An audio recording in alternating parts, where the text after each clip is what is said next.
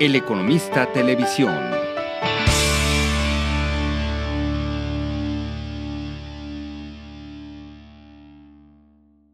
Las colonias que registraron un mayor incremento en el precio de las viviendas se ubican en cuatro delegaciones de la Ciudad de México: Cuauhtémoc, Benito Juárez, Miguel Hidalgo y Coajimalpa, de acuerdo con un estudio elaborado por el portal inmobiliario propiedades.com.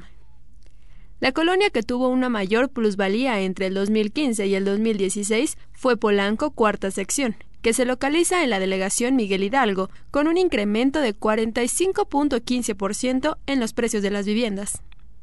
Por su parte, la colonia Roma Norte, en la delegación Cuauhtémoc, registró un incremento en el valor de las construcciones de 34.90%. Le siguen la colonia del Valle Centro, en la delegación Benito Juárez, con 25.49%, Polanco Primera Sección, en la delegación Miguel Hidalgo con 24.10% y Bosques de las Lomas con 14.23%. Cabe destacar que las colonias que tuvieron un mayor incremento en la plusvalía de los inmuebles se ubican en las zonas centro y poniente de la ciudad, en donde existen colonias muy bien consolidadas, en donde también se observan mercados emergentes.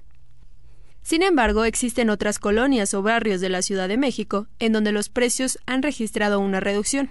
De acuerdo con propiedades.com, la colonia que mostró un mayor decremento en el precio de las viviendas fue Las Águilas en la delegación Álvaro Obregón, con una minusvalía de 21.11%, a la cual le sigue Miscuac con una reducción de 14.08% y del Valle Norte con 11.98%. Con información de Rodrigo Riquelme para El Economista Televisión, Lilia Galván.